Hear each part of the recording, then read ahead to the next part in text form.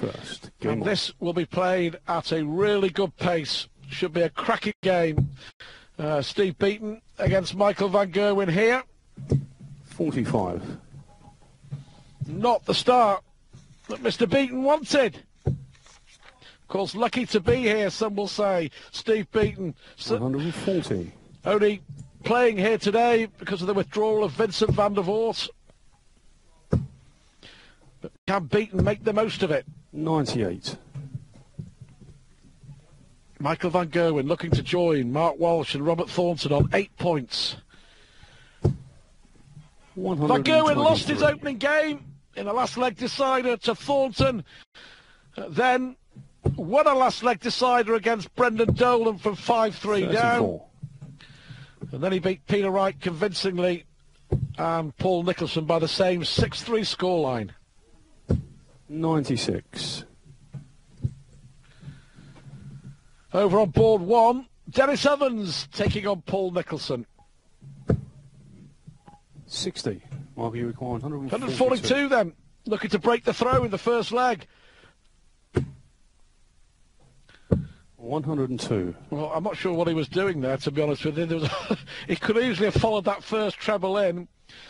He has his own way of doing things, Michael Van Gerwen, that's for sure. Michael, you require 40. But he does need tops.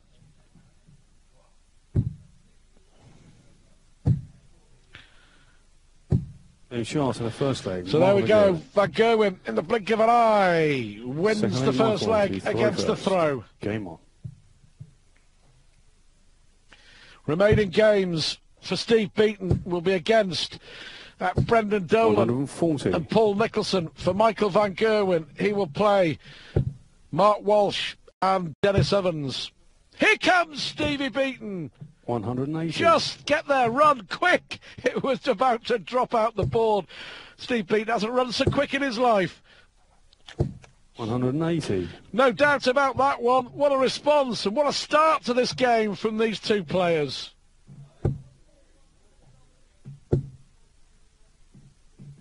One hundred.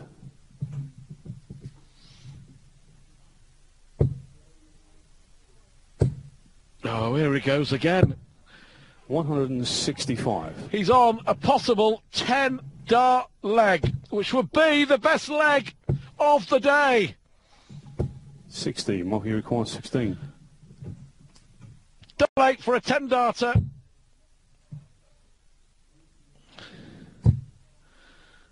Getting closer. Being short on the second leg. Uh, 12 darts will do, but he, he leads 2 0. Roy first. Game on. Yeah, Steve Beaton still featured for me in one of the one of the, the best games that I've had the privilege to commentate on at the Grand Slam of Darts two years 57. ago. When he came, well, he, he was out of it. Uh, I think he won six consecutive legs to beat Phil Taylor in the quarterfinals. 137. And it was just probably the best that Steve Beaton's ever played. It was just a fabulous, fabulous match. 96.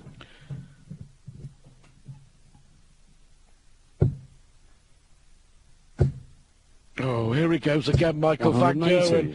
Well, when he's playing like this, he really is difficult to beat. But Steve Beaton is back with another one. 140.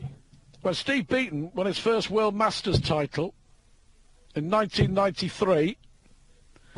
168. Oh, this is just unbelievable. Unbelievable darts. A 168 from Van Gerwen.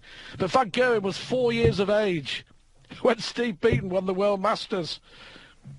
140. Marky requires 16. For the second consecutive leg, he's on a 10 darter. No, oh, it's 11. That'll do. But this has just been a, brilliant performance from Michael Van Gerwen. But the pace will suit him, you see. You know when he lost to Paul Nicholson in the semi-finals last night? 140. The pace of the game was all wrong for Van Gerwen. But in many ways, Steve Beaton's the perfect opponent for the way that Van Gerwen 100. plays. Averaging over 120 at the moment and adding to that with another maximum. Well, this is just unbelievable darts from Michael Van Gerwen. Here comes Steve Beaton to respond.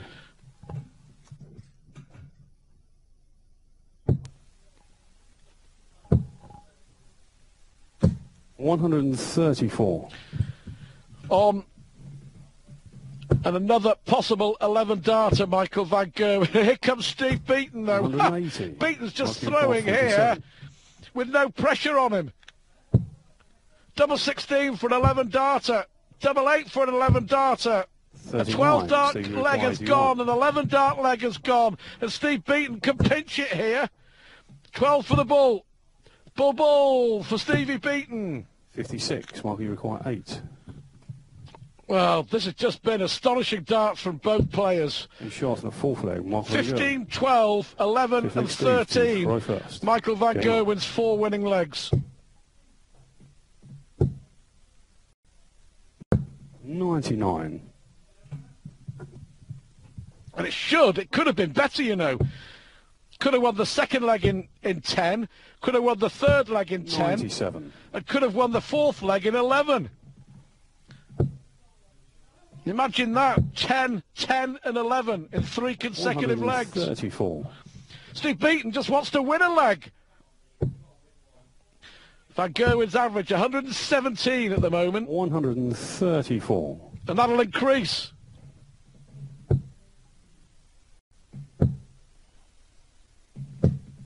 Fifty-eight.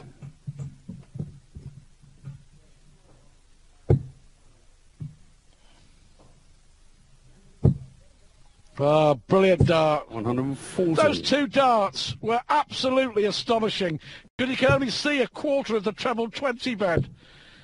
It could be 5 0 here. 92. Mark, If Van Gerwen has his way, he could win this in 10 minutes flat.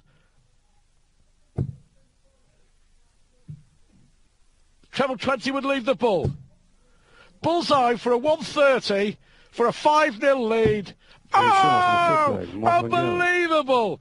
And a 12 Mark dart leg uh, to on. follow a 13, 11, a 12, and a 15.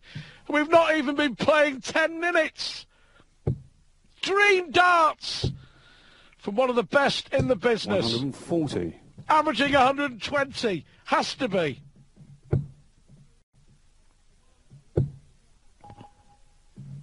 One hundred and forty. 120, Michael Van Gerwen's average. One hundred and eighty. Oh, unbelievable. Unbelievable. This is one of the best performances you're likely to see anywhere. It's only six legs 60. of darts, but this is astonishing. He- he- well, you, you run out of superlatives sometimes 97. to describe just how good this is. Steve Beaton hasn't done a lot wrong, but he hasn't had a look in. One hundred and forty. Mark, you require eighty-four. for an 11 darter to win it with an average of a Shots of 120. match. Mark Van Gerwen. Unbelievable. He has won the whole match in 74 amazing darts.